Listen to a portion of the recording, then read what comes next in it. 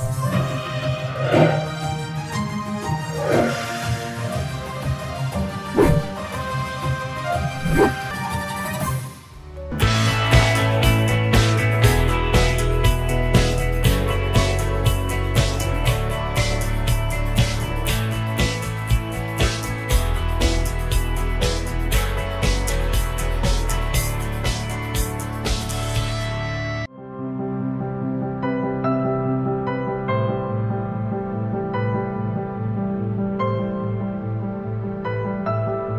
வேதத்தை தானியலின் புஸ்தகம் ஒன்றாவது அதிகாரம் எட்டாம் வசனத்துக்கு நேராக வாசிக்கலாம். தானியேலின் ராஜாவின் போஜனத்தினாலும் அவர் பானம் பண்ணும் திராட்சரசத்தினாலும் தன்னை தீட்டுப்படுத்தலாகாதென்று ஆ. தன் இருதயத்தில் தீர்மானம் பண்ணிக்கொண்டு தன்னை தீட்டுப்படுத்தாதபடி பிரதானிகளின் தலைவனிடத்தில் வேண்டிக் கொண்டான் வேண்டிக் கொண்டான் தானியேல் யாரென்றால் ஒரு ராஜாவால் இஸ்ரவேல் தேசம் அடிமைத்தனப்படும் பொழுது யூதா தேசம் அடிமைத்தனப்படும் பொழுது ஒரு ராஜ குடும்பத்தில் யூத தேசத்தில் இருக்கிறான் அங்கிருந்து அவனும் அவனுடைய நண்பர்களும் அந்த தேசத்தில் இருக்க எல்லா தேவ பிள்ளைகளும் பாபிலோன் என்கிற தேசத்துக்கு அடிமைகளாய் வந்து விட்டார்கள் இப்போ அந்த பாபிலோன் என்கிற அந்த தேசம் நம்முடைய தேசத்தின் பேர் என்ன? அது கூட இவ்வளவு சந்தேகப்பட்டு நம்ம தேசத்தின் பேர் என்ன?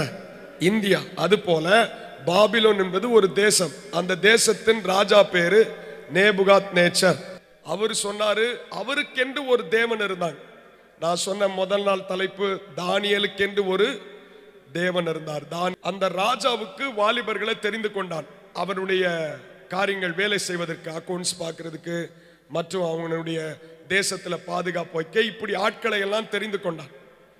இப்படி தெரிஞ்சு கொண்ட அந்த தானியலுக்கு இப்ப இந்த அவர் கூட நிற்கிறவர்களுக்கு ராஜா என்ன சாப்பிட்றாரோ அதே சாப்பாடை அவர்கள் அவனுக்கு கொடுப்பார்கள் அன்னைக்கு பாபிலோனின் ராஜா நேபுகாத் நேச்சர் என்ன செய்யறான்னா அவன் சாப்பிட்ற சாப்பாடு ராஜாவின் போஜனத்தினால அவன் ஆபீஸ்ல யாரெல்லாம் வேலை செய்யறாங்களோ அவங்க எல்லாரும் அதே சாப்பாடை சாப்பிடணும்னு ஒரு கட்டளை போடுகிறான்.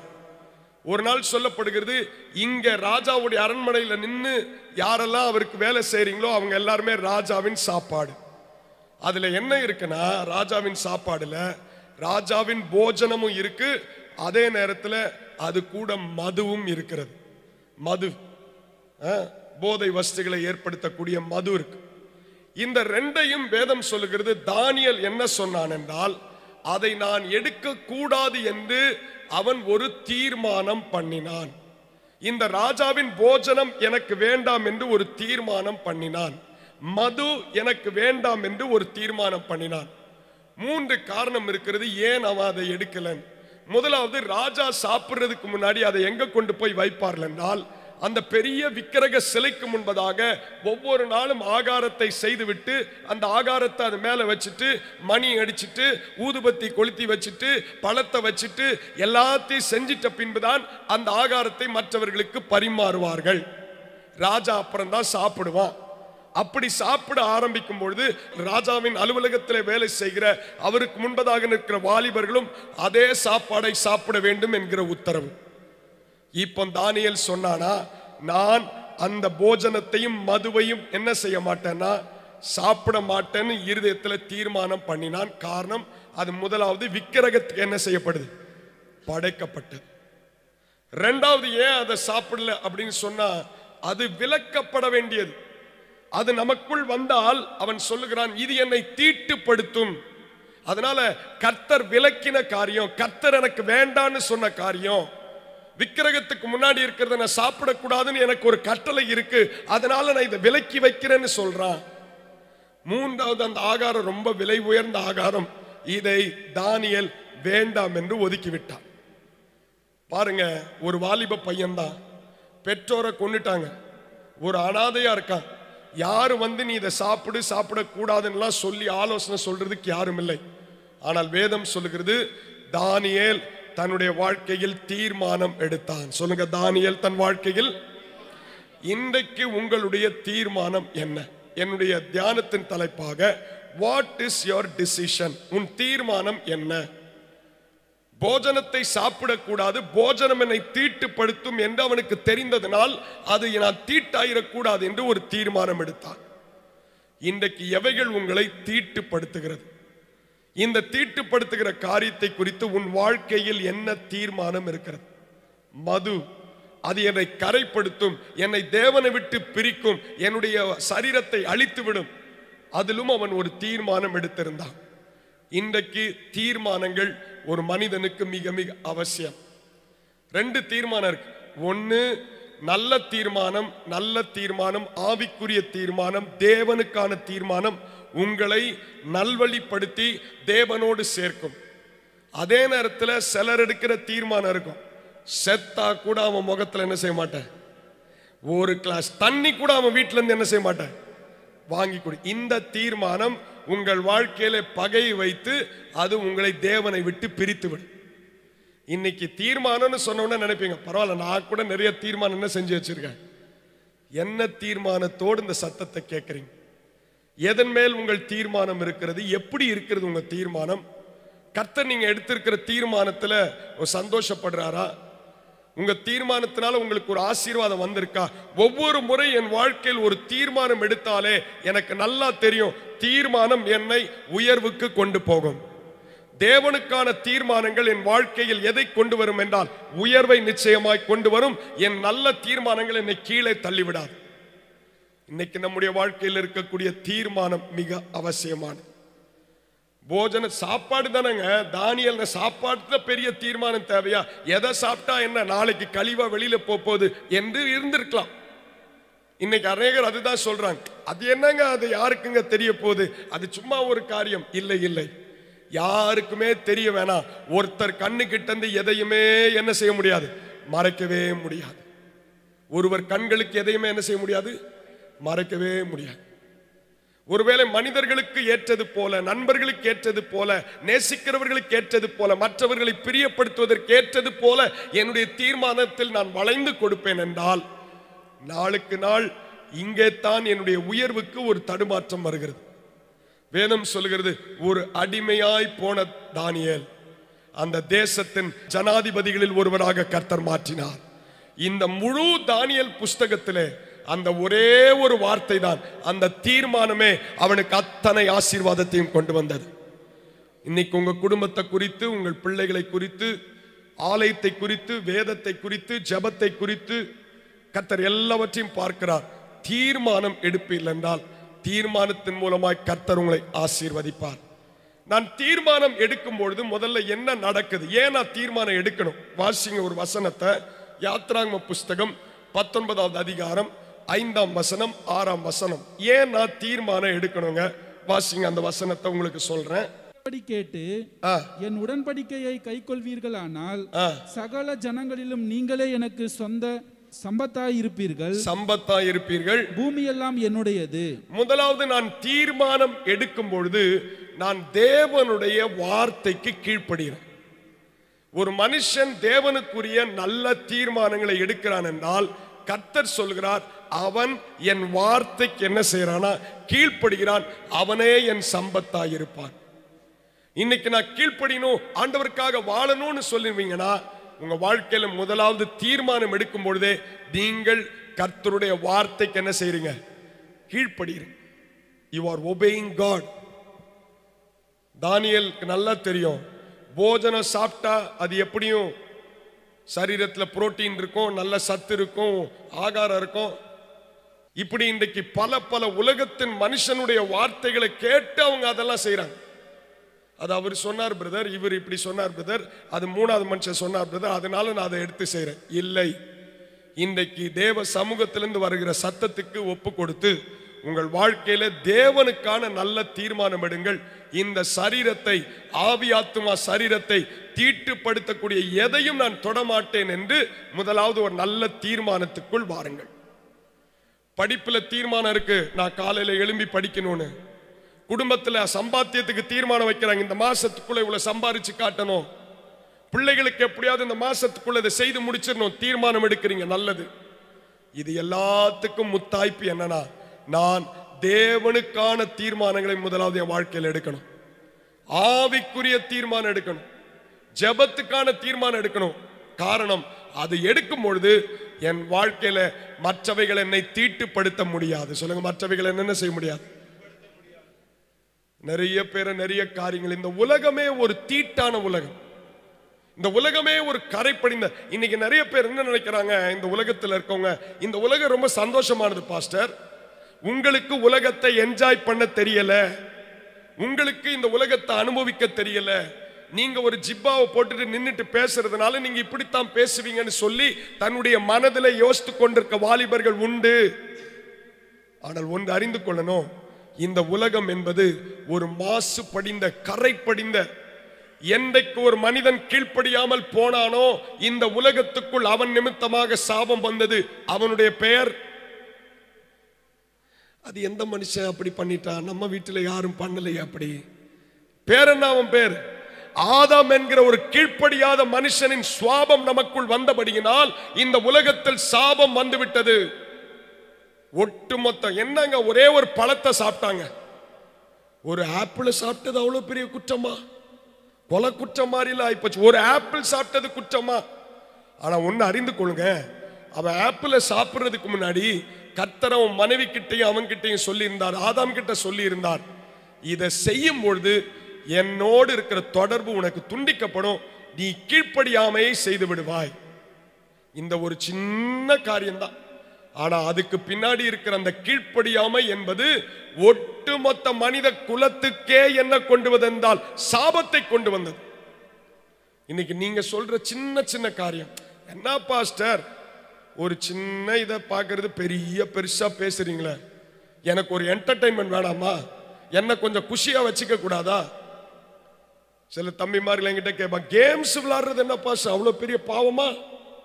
ஏதோ எனக்கு டைம் போல அதனால என்ன செய்யறேன் கொஞ்சம் நான் கேம்ஸ் விளாடுறேன். அதை போய் நீங்க பெருசா அதை பிரசங்கத்தில் வேற சொல்லிக்கிட்டு இருக்கீங்க உட்காந்து உன்னுடைய நேரத்தை நீ தேவனோடு எடுக்க வேண்டிய தீர்மானத்தை கரைப்படுத்துகிற எல்லாமே உன் வாழ்க்கையில் ஆசீர்வாத குறைவை கொண்டு வரும். ஆனா ஒரு மனுஷன் தேவனுக்கான காரியத்தை தீர்மானம் எடுக்கும் பொழுது அவன் கர்த்தருக்கு முதலாவது என்ன செய்யறான் கீழ்ப்படுகிறான். சொல்லுங்க கர்த்தருக்கு கீழ்ப்படுகிறான் அன்னைக்கு ஆதாமும் சரி ஏவாளும் சரி இந்த பழத்தை நாங்க சாப்பிடவே மாட்டோம். காரணம் எங்க ஆண்டவர் இதை சொல்லி இருக்கிறாரு பிசாசே நீ சொல்ற எவ்வளவு காரியமா இருந்தாலும் இது எங்கள் செவிகளுக்குள் போகாது. நாங்கள் எடுத்த தீர்மானத்தில் உறுதியா இருப்போம் என்று நின்றிருப்பார்கள் என்றால் இவ்வளவு பேர் இந்த சபைக்குள்ள உட்கார்ந்து என்ன செஞ்சிருக்க மாட்டோம்? கேட்டிருக்க வேண்டிய அவசியமே இல்லை. ஒரு மனிதன் நிமித்தம் ஒரு மனிதன் தேவனுடைய வார்த்தைக்கு கீழ்ப்படியாதது நிமித்தம் தன்னுடைய தீர்மானத்தில் நிலைத்து நிற்க- நிற்க முடியாத நிமித்தம் ஒட்டுமொத்த பூமிக்கு சாபத்தை கொண்டு வந்தது போல இன்னைக்கு நீ தேவனுக்கான தீர்மானம் எடுக்காதது படியினால் அவை உனக்கு ஆசீர்வாத குறைவுகளை கொண்டு வரும். இன்னைக்கு சிலர் சொல்றாங்க நான் தீர்மானம் எடுத்தா எதையுமே என்ன செய்ய மாட்டேன்? செய்ய மாட்டேன் அதுக்கு தீர்மானம் எடுக்காமலே நான் என்ன எப்படி இருப்பேன்? சொல்லுங்க எப்படி இருப்பேன்? நீங்க ஏன் இவ்வளவு அமைதியா இருக்கீங்க? நான் ஏன் தீர்மானம் எடுக்கிறது இல்லைன்னா நான் தீர்மானத்தை என்ன செய்ய மாட்டேன்? செய்ய மாட்டேன் நான் செய்ய மாட்டேன் எனக்கு முடியாது நான் கடைபிடிக்காம சும்மா இருந்துட்டு போறேன். இன்றைக்கு அப்படிப்பட்ட ஒரு நபராக இருப்பீங்கன்னா கூட நீங்களும் உங்கள் வாழ்க்கையில் கடைசி வரை சும்மாவே இருந்துட்டு போயிடுவீங்க ஆகையால் உங்கள் வாழ்க்கையில் தேவனுக்கான தீர்மானங்கள் தேவை. கர்த்தரிடத்தில் சேரணும் என்கிற தீர்மானங்கள் தேவை. முதலாவது நான் தீர்மானம் எடுக்கும் பொழுது தேவனுக்கு நான் கீழ்ப்படுகிறேன். ரெண்டாவது தீர்மானம் எடுக்கும் பொழுது இதை இன்னொரு வசனம் கூட வாசித்துருங்க. உபாகமம் இருபத்தி எட்டாவது அதிகாரம். ஒன்று ரெண்டு வசனங்களை வாசிங்கள் உபாகமம் இருபத்தெட்டு ஒன்று ரெண்டு. இன்று நான் உனக்கு விதிக்கிற உன் தேவனாகிய கர்த்தருடைய கட்டளைகளின்படியெல்லாம் செய்ய நீ கவனமாய் இருக்கும்படிக்கு அவர் சத்தத்திற்கு உண்மையாய் செவி கொடுப்பாயானால் உன் தேவனாகிய கர்த்தர் பூமியில் உள்ள சகல ஜாதிகளிலும் உன்னை மேன்மையாக வைப்பார். ம், போதும். ஒரு மேன்மை என்னுடைய வாழ்க்கையில வரணும்னாலே நான் கர்த்தருடைய வார்த்தைக்கு கீழ்ப்படிந்தாதான் எனக்கு என்ன வரும்னா ஒரு உயர்வு வரும். அந்த மேன்மையை பார்க்கிறதுக்கு என் வாழ்க்கையில ஒரு நல்ல தீர்மானம் தேவை. இன்னைக்கு வேதத்துல பாருங்களேன் எல்லாருடைய ஆரம்பமும் ரொம்ப தரமட்டத்தில் இருக்கும். நீங்க தாவீதுடைய ஆரம்பம் எப்படி தாவீது ராஜா என்று இன்னைக்கு முடிக்கும் போது மறிக்கும் போது சொல்றாங்க. அவன் ஆரம்பம் ஒரு எப்படிதான் இருந்தது? ஆடு மேய்க்கிறவன். யோசேப் என்பவன் யார்? ஒரு அதிபதி என்று வேதம் சொல்லுகிறது. அவனுடைய ஆரம்பம் எப்படி? சாதா ஒரு வீட்டு பையன் அவன். தானியல் எப்படி? அதிபதி என்று சொல்லுகிறார்கள். ஆரம்பம் எப்படி? அவன் வாழ்க்கையில ஒரு அடிமை. இது இதெல்லாம் நான் உங்களுக்கு உதாரணமா சொல்றேன். அப்போ இவங்க வாழ்க்கையில எல்லாம் ஒரு அற்பமான ஆரம்பத்தில் இருந்து உயர்வுக்கு போயிருக்கிறாங்கன்னா வேதம் அவங்களை எழுதி வைத்து நமக்கு அடையாளப்படுத்துது. நீங்களும் உங்கள் தீர்மானத்திலே உறுதியாக இருந்து தேவன் சொல்லுகிறதற்கு கீழ்ப்படிந்து நீங்கள் தீர்மானம் எடுத்து இருப்பீங்கன்னா நிச்சயமாய் நீங்களும் என்ன அடைவீர்கள்? உயர்வு அடைவீர்கள் மேன்மை அடைவீர்கள். பக்கத்தில் தட்டி சொல்லுங்க உங்களுக்கு நிச்சயம் உயர்வு உண்டு. ஆனா அதுக்கு முன்னாடி என்ன சொல்லியிருக்கணும்னா நீ நல்ல என்ன செய்திருக்கணும்? தீர்மானம் எடுத்திருக்கணும் சொல்லுங்க என்ன எடுத்திருக்கணும்? தீர்மானம். இன்னைக்கு என்னென்னமோ தீர்மானம் எடுக்கிறாங்க என்னென்னமோ தீர்மானம். கற்பனைக்கு எட்டாத தீர்மானங்கள்லாம் இருக்கு. ஆனால் என்றைக்கு ஒரு தேவனுடைய பிள்ளை என்று சொன்னால் அவனுடைய தீர்மானம் ஆவிக்குரிய வாழ்க்கையில் ஆரம்பிக்கிட்டு ஸ்பிரிட்ஃபில்டு தீர்மானத்தில் இருங்க. ஆவியினால் எடுக்கப்படுகிற தேவ சத்தத்தை கேட்டு தேவ மனுஷனுடைய சத்தத்தை கேட்டு தேவன் பேசுகிற சத்தத்தை கேட்டு ஆவிக்குரிய தீர்மானத்தை எடுங்க. அதுக்கப்புறம் உங்க சரீர பிரகாரமான தீர்மானத்துக்கு ரெண்டாவது போய்க்கலாம். இன்னைக்கு ஸ்போர்ட்ஸ்மேன் நிறைய பேர் இருக்கிறாங்க. சாதித்த உலகத்தில் இருக்கிற ஸ்போர்ட்ஸ்மேன் இருக்கிறாங்களே விளையாட்டு வீரர்கள். நிறைய சாதனையாளர்கள் இருக்கிறார்கள். இந்த சாதனையாளர்களுடைய வாழ்க்கையெல்லாம் கொஞ்சம் போய் படிச்சு பார்ப்பீங்கன்னா அவங்களுக்கு ஒரு நல்ல தீர்மானம் இல்லாம அந்த விளையாட்டு உலகத்தில் அவங்களால என்ன செய்ய முடியாது? சாதிக்க முடியாது. அது போல அதே ஸ்டாட்டிக்ஸ் தான் அதே நியமம் தான் அதை கொண்டு வந்து அப்படியே ஆவிக்குரிய வாழ்க்கையிலும். எனக்கு என் தேவனால ஒரு உயர்வு வர வேண்டும் என்றால் அது ஆரம்பமே எங்கிருந்து ஆரம்பிக்குதுன்னா என் வாழ்க்கையில் எடுக்கிற தேவனுக்கான நல்ல தீர்மானத்திலிருந்து ஆரம்பிக்குது. ஆகையால் தீர்மானம் எடுக்கிறவர்கள் தேவனுக்கு கீழ்ப்படுகிறார்கள். இப்போ தானியல பாருங்க. இந்த சாப்பாடை அவன் சாப்பிடல. எனக்கு வேண்டாம். அந்த அதுல மது இருக்கு. இதுல விக்கிரகத்துக்கு படைக்கிறாங்க என்று சொல்லி அவன் சாப்பிட மாட்டேன்னு சொன்னான். இப்போ அவன் வந்து மனுஷன் ராஜா சொல்றான் ராஜாவை பிரியப்படுத்த அவனுக்கு என்ன இல்லை? விருப்பம் இல்லை. ராஜாவை பிரியப்படுத்தணுமா? ராஜாதி ராஜாவை பிரியப்படுத்தணுமான்னு அவன் கிட்ட கேட்டா அவன் சொன்னா எனக்கு என் பூமிக்குரிய என் கண்ணுக்கு முன்னாடி தெரிகிற ராஜாவை நான் பிரியப்படுத்த விருப்பப்படல. ராஜாதி ராஜாவை நான் பிரியப்படுத்த விருப்பப்படுகிறேன். இன்னைக்கு உங்க தீர்மானம் யாரை பிரியப்படுத்தி கொண்டிருக்கிறது? யாரை பிரியப்படுத்துது? அவன் அழகா நினைச்சா குறுக்கு வழியிலேயே ஜனாதிபதி ஆயிருக்கலாம். ஒன்றும் இல்லை அந்த சாப்பாடெல்லாம் கொண்டு வா தட்டை எடுத்துட்டு வா. இது கூட ரெண்டு சேர்த்து என்ன செய்?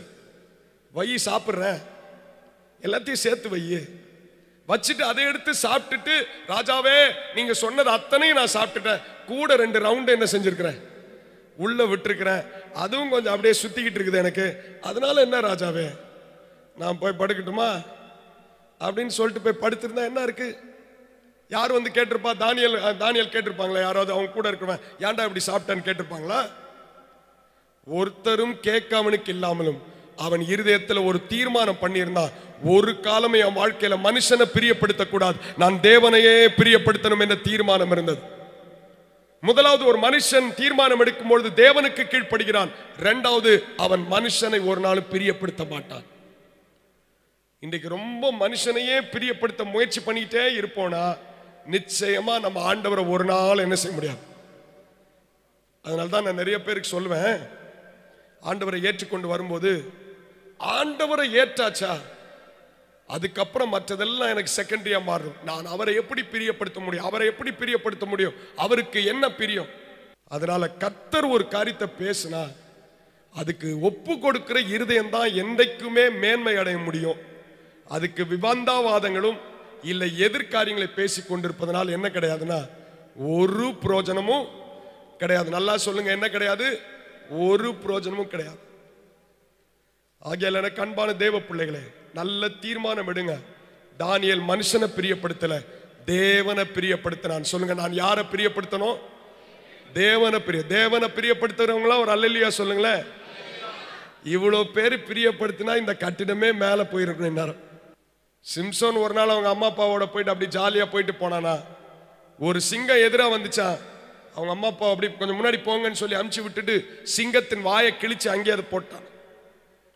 போயிட்டு ரொம்ப நேரம் கழிச்சு மறுபடியும் அப்படி சுற்றி பார்த்துட்டு பொண்ணெல்லாம் பார்த்துட்டு அவங்க அம்மா அப்பாவோட திருப்பி வரும்போது இவன் பார்த்துட்டா அதே சிங்கத்தின் வாய்க்குள்ள என்ன இருக்குன்னா ஒரு தேன் கூடு இருக்கு. பிசாசு பிசாசுக்கு நல்லா தெரியும் இவன் எந்த விரதம் உள்ளவன்? நசரேய விரதம் உள்ளவன். செத்த காரியத்திலிருந்து எதையும் செத்ததை தொடவும் கூடாது. செத்து போனதுலேருந்து எதையும் எடுத்து என்ன செய்யக்கூடாது? சாப்பிடவும் கூடாது. அதை தெரிந்த அவன் நீங்க எங்கேயாவது கேள்விப்பட்டிருக்கீங்களா? செத்த ஒரு மிருகத்துக்குள்ள தேன் கூடு வருமா? தேன் எங்கேயாவது போய் செத்த பொருட்களுக்குள்ள கூடு வைக்குமா? வைக்கவே வைக்காது. நம்மெல்லாம் ஆறு அறிவு பெ- சொல்றோம். நம்மளை விட தேனி என்ன செய்யுது? ஒரு படி புத்திசாலி தான். தேனி ஆனால் அந்த பிசாசு இவனுடைய தீர்மானத்தை உடைக்கணும்னு எங்க கொண்டு போய் வச்சிருந்தா தெரியுமா? தேனை செத்த பிரேதத்தின் சிங்கத்தின் வாய்க்குள்ள வச்சிருந்தான். இன்னைக்கு நிறைய பேருடைய தீர்மானத்தை உடைப்பதற்காக பிசாசுக்கு தெரியும் இவன் தீர்மானம் சபைக்குள்ள என்ன செஞ்சிட்டான்? எடுத்துட்டா அது போல செத்ததை சிலது ஆயத்த பண்ணி வச்சிருப்பான். இவன் பார்த்தான சுத்தி கித்தி பார்த்தா அம்மா அப்பா அந்த பக்கம் முன்னாடி போயிட்டாங்க. ரொம்ப ஆசையா போயிட்டு இவன் சாகடிச்சு போட்ட அதே சிங்கத்துக்குள்ள இருந்து அதன் வாய்க்குள்ள இருந்து தேனை எடுத்து எல்லாம் நக்கி நக்கி என்ன செஞ்சான்? கையெல்லாம் கழுவி சாப்பிட்டான். சாப்பிட்டது இல்லாம அவங்க அம்மாக்கும் ஆண்டவர் சொல்லியிருந்தாரு என்ன செய்யாத ஒரு நாளும் சாப்பிடாதன்னா அவங்க அம்மா அப்பாவுக்கும் என்ன செய்தான் கொடுத்தா. அந்த பெற்றோராவது என்ன செஞ்சிருக்கணும்? இந்த தேன் எங்க இருந்துடா என்ன செய்து? அவர்களும் அதை வாங்கி என்ன செய்தார்கள்? சாப்பிட்டார்கள் முடிஞ்சது கதை. சிம்சோனுடைய முதல் வீழ்ச்சி ஆரம்பிக்கிறதே இந்த இடத்துல தான். கத்தர் ஒரு காரியத்தை உனக்கு தீட்டுன்னு சொல்லிட்டாரா? பிசாசு நேர் எதிரறையா உனக்காக தேன்களை ஆயத்தப்படுத்தி வைப்பான். எச்சரிக்கையா இருக்கு கவனமாயிரு சிறு காரியமா இருந்தால் ரொம்ப கவனமா காரணம் உன்னுடைய தீர்மானத்தை உடைப்பதுதான் அவனுடைய முதல் வேலையே. அவனுக்கு நல்லா தெரியும். தீர்மானத்தை உடைச்சிட்டா இவனுடைய அஸ்திபாரத்தை உடைச்சாச்சு. தீர்மானம் என்பது நாம் நிற்பக்கூடிய ஒரு அஸ்திபாரம். அதுல தான் நம்ம நிக்க முடியும். தேவனுக்குள்ள நிக்கணும்னா எனக்கு ஒரு தீர்மானம் தேவை கர்த்தருக்காக. சாப்பிட்டான் அடுத்தது கொஞ்ச நாள் போனா நான் அந்த சம்பவத்தை சுருக்கமா சொல்லி நாம ஜெபத்துக்கு போலாம். இப்படியே போய் போய் போய் போய். அப்புறம் ஒரு இடத்துல சொல்றானா அவங்க அம்மா கிட்ட இந்த வசனத்தை நீங்க வாசிக்கணும். நியாயாதிபதிகள் புஸ்தகம் பதினாலாவது அதிகாரம் மூணாம் வசனம். இது ரொம்ப கவனிக்க வேண்டியது. அப்பொழுது அவன் தாயும் அவன் தகப்பனும் அவனை நோக்கி நீ போய் விருத்த சேதனம் இல்லாத பெலிஸ்தரிடத்தில் ஒரு பெண்ணை கொல்ல வேண்டியதென்ன? உன் சகோதரரின் குமாரத்திகளிலும் எங்கள் எங்கள் ஜனமனைத்திலும் பெண் இல்லையா? என்றார்கள். சிம்சோன் தன் தகப்பனை நோக்கி அவள் என் கண்ணுக்கு பிரியமானவள் அவளையே எனக்கு கொல்ல வேண்டும் என்றான். நல்லா கவனிங்க. நல்லா கவனிங்க. வாலிப தம்பி நல்லா கவனி. சிம்சோனுடைய ரெண்டாவது வீழ்ச்சி எங்க ஆரம்பிக்குதுன்னா அவன் போய் ஒரு அந்நிய பெண்ணை பார்த்தானா பார்த்தவன அவனுக்கு பிடிச்சிருச்சான். நீங்க நிறைய பேருக்கு பார்த்தவன பிடிச்சிருது. அதான் என்னன்னு பிரச்சனைன்னு தெரியல. பார்த்தவொடனே பிடிச்சிச்சு. அவங்க அம்மா அப்பா சொல்றாங்க இல்லைடா இல்லடா நம்ம வந்து தேவனுடைய பிள்ளைகள். நம்ம போய் அந்நிய காரியத்தில் சம்பந்தம் கலக்க முடியாது கலக்க கூடாது. கர்த்தர் நம்மை அப்படிதான் அமைத்து வைத்திருக்கிறார். நமக்குள்ள ஜாதிகள் கிடையாது. ஆனால் அந்நிய நுகத்தில் போய் பிணைக்கப்படாதன்னு வேதம் சொல்லுது. நீ எந்த ஜாதியாரு ரட்சிக்கப்பட்ட இயேசுவின் ரத்தத்துக்குள்ள வந்துட்டானா? நம்முடைய ஒரே ரத்தம் அவன்தான். ஆனா நீ போய் அந்நியருக்குள்ள போய் உன்னை சிக்கிக்கொள்ளாதே என்று வேதம் சொல்லுது. விக்கிரக படைப்புக்குள்ள போய் நீ போய் காரியத்தை சிக்கிக் கொள்ளாத வேதம் சொல்லு. இவன் பார்த்தா அவங்க அம்மா கிட்ட ஒரு ரொம்ப அழகான ஒரு பதில் சொல்றான். அவள் என் கண்ணுக்கு என்ன செய்கிறாள்? எல்லாம் அந்த வார்த்தையை சொல்லுங்க. அவள் என் கண்ணுக்கு பிரியமானவளா இருக்க? என் கண்ணுக்கு அது ரொம்ப பிரியமா இருக்கு. கடைசியில முதல் அவன் அவன் பிடிப்படும் பொழுது அவன் அவனுடைய சரீரத்தை அவயத்தை எதை தெரியுமா நோண்டி எடுத்தாங்க? சொல்லுங்க எதை நோண்டிட்டாங்க? அதே போல உன் கண்ணுக்கு பிரியமா இருந்து அது பின்னாடியே போவனா? உன் கண்ணு ஒரு நாள் மாஸ்டர் என்ன என் பிள்ளை எப்படி சொல்றீங்க? ஏன் அப்படி பேசுறீங்க? உன் கண்ணு ஆவிக்குரிய கண்ணு குருட்டா போய் எப்படி அழகா சொன்ன பாருங்க. அதனால்தான் உனக்கு பிரியமானது எல்லாம் செய்ய முடியாதுப்பா. தாவீது என்ன சோமன்றான் தெரியுமா? கத்தாவே உமக்கு பிரியமானது எனக்கு என்ன செய்யும்? எனக்கு பிரியமா ஆயிரம் காரியம் ஆயிரம் காரியம் இருக்கும். நீ நல்ல தீர்மானம் எடுக்க வேண்டும் என்றால் இன்றைக்கு தேவனுக்கு பிரியமானதுக்கான தீர்மானம் எடு. அதுதான் ஒரு ஆசீர்வாதம். அதுல தான் நீ நிக்க முடியும். சிம்சோன் போய் ஒரு வேசிக்கிட்ட போனானா அவகிட்ட நைட்டு டேவு பேசிக்கிட்டே இருந்தானா? அவ கேட்டுக்கிட்டே இருக்கிறாளா? எதுனால உன் பெலன்? எதுனால உன் பெலன்? சொல்லு சொல்லு வாயை திறந்து சொல்லு. ஒவ்வொரு முறையும் போய் சொல்லிக்கிட்டே இருந்தானா? கயிறில் கயிறுல கட்டினா நான் சரியாயிடுவேன் வாழை மட்டையில கட்டினா சரியாயிடுவேன். கடைசியில் அவளை போட்டு இப்படிதான் பிசாசு தொந்தரவு பண்ணுவான். உன்னை செய்து உன்னை நிர்வாணப்படுத்துற வரைக்கும் இருப்பான் நிர்வாணப்படுத்திட்டு பிறகு அப்பாடா வேலை சக்சஸ் பினிஷ்ட் அது வரைக்கும் பின் தொடர்ந்து கொண்டே வருவான். சிம்சோன் எவ்வளோ பொறுத்து பார்த்தா அவகிட்ட சொல்லாம இருக்கணும்? கடைசியா சொன்னானா என்னுடைய பலன் எல்லாமே எங்க தான் இருக்கு? என் தலைமுடியில தான் இருக்கு. கத்தருடைய பிரதிஷ்டை என் மேல இருக்கு நான் இவன் சொல்லும் போதே அந்த கதவுக்கு பின்னாடி யார் நிற்கிறான்னு இவனுக்கு தெரியல. இவனை அழிப்பதற்காக பெலிசியன் சத்ருவாய் அங்க நிற்கிறான். நீ இன்னைக்கு தீர்மானத்தில் என்னைக்கு உன்னை டைல்யூட் பண்ண பார்க்குறியோ என்னைக்கு உன் உன் நண்பனுக்காக இல்லை உனக்கு பிரியமானவர்களுக்காக அதை சொல்ற அதை விட்டு கீழே இறங்குறியோ அன்னைக்கே தெரிந்து கொள் உன்னுடைய பெரிய இடத்துலேருந்து உன்னுடைய பெரிய வீழ்ச்சிக்கு நேராக போற. இன்னைக்கு அப்படி யாராவது இந்த சத்தத்தை கேட்டு அந்த ஒரு நபர்கிட்டயாவது ஆண்டவர் பேச மாட்டாரா? அந்த ஒரு நபர்கிட்டயாவது ஆண்டவர் சரியா சொல்ல மாட்டாரா உன் தீர்மானத்தில் உறுதியாரு எல்லாருக்கும் சொன்னாரான்னு எனக்கு தெரியாது. ஆனா கர்த்தர் யார்கிட்ட சொல்ல வேண்டுமோ அவர்கள் கிட்ட சரியா பேசிக்கிட்டு இருக்கிறார். நிறைய பேர் கேட்குறாங்க ஆண்டவர் என்ன பாஸ்டர் என்கிட்ட பேசுறதே இல்லை. ஆண்டவர் சத்தங்க ஆண்டவர் என்கிட்ட நேரா வந்து பேச மாட்டாரா? நல்லா அறிந்து கொள். ஒவ்வொரு முறையும் தேவ சமூகத்தில் ஆலயத்தில் வேதத்தை திறக்கும் போது எந்த வழியிலையும் கர்த்தர் நம்மோடு என்ன செய்து கொண்டிருக்கார்? பேசிக்கொண்டே இருக்கிறார் is a God who talks அவர் நம்மோடு பேசுகிற தேவன் அதை மறந்துடாத. எல்லா வழியும் பேசி பார்ப்பார். நீ எல்லாத்துக்கும் உன் காதை அடைச்சிக்கிட்டு போயிட்டே இருக்கலாம். உன் வாய்ப்பு தான் உன் விருப்பம் தான். ஆனால் ஒரு நேரம் வரும். ஒரு டைம் வரும். நீ ஒரு நேரத்தில் எல்லாம் முடிஞ்சு ஒரு சூரியனை போல பிரகாசிக்கிறவன் ஒரு ஜோக்கரை போல மாறிட்டான். இன்னைக்கு நிறைய பேர் அவங்க தீர்மானத்தில் நிற்காததுனால சூரியனை போல தேவனோடு பிரகாசித்திருக்க வேண்டிய அவர்கள். இன்னைக்கு அவர்கள் வாழ்க்கையில ரொம்ப நிலையில கீழே போயிட்டாங்க. ஆனா நம்முடைய ஆண்டவர் ரொம்ப நல்லவர். அந்த இடத்துல இருந்து ஒரே ஒரு ஜோம் பண்ணானா? ஆண்டவரே என் வாழ்க்கையிலே நான் செய்த பெரிய தவறு இது ஆண்டவரே. இந்த ஒரே ஒரு விஷயம் மன்னித்து எனக்கு மறுபடியும் அதே பலத்தை கொடுங்க. நான் இதுக்கு மேல என் கண்ணு போயிட்டதுனால நான் வாழவே விருப்பப்படலை. அப்படின்னு சொல்லி ஜோமன்னான் வேதம் சொல்கிறது மறுபடியும் அவனுடைய தலை முடி முளைக்கப்பட்டது. அப்ப எவ்வளவு நாள் சித்திர அதை அனுபவித்திருப்பான் பாருங்க. எவ்வளவு நாள் அவனை கேலி பண்ணிருப்பாங்க பாருங்க. அவனை கூட்டிட்டு வர்றதுக்கு ஒரு சின்ன பையனை விட்டாங்களா. கைலாக்கு அப்படி கை பிடிச்சி அவன் கூட்டிட்டு வருவானா. அப்படி சங்கிலி போட்டு எல்லாரும் சொன்னாங்களா பாரா எங்க ஆண்டவர் உங்க ஆண்டவர் எப்படி எங்க கையில எங்க கிட்ட ஒப்பு கொடுத்தார் பாரு என்று சொல்லி தங்கள் தேவனை புகழ்த்தினார்களாம். நீ தீர்மானத்துல உறுதியா இல்லாததுனால தூஷிக்கப்பட்டது யார் தெரியுமா? உன் ஜீவனுள்ள தேவன் நிந்திக்கப்பட்டார். அன்னைக்கு மட்டும் நீ சரியான தீர்மானம் எடுத்து இல்ல எங்க பெற்றோர் சொல்வது. இல்ல எங்க பாஸ்டர் சொல்வது. இல்ல அவங்க சொல்வது. ஜெபம் பண்ணி சொல்றது. அந்த காரியத்துக்கும் இருதயத்தை ஒப்பு கொடுத்து பார். ஒருவேளை அதை கேட்கறதுக்கு ஒரு கசப்பான கஷ்டமான இருக்கிறோம் இன்னைக்கு நான் நூறு சதவீதம் சொல்ல முடியும். அந்த நாட்களிலே என்னுடைய பெற்றோர் ஒரு காரியத்தை குறித்து நீ இதை செய்யவே கூடாது. அப்படின்னு சொன்ன ஒரு காரியத்தை அந்த நேரம் எனக்கு ரொம்ப கஷ்டமா இருந்தது. ஆனால் அவர்கள் சொன்ன அந்த தீர்மானத்தை அந்த முடிவை அதை ஏற்றுக்கொண்டு இன்னைக்கு நான் அதை இத்தனை வருஷம் கழிச்சு பதினாலு வருஷம் கழிச்சு திரும்பி பார்க்குறேன்.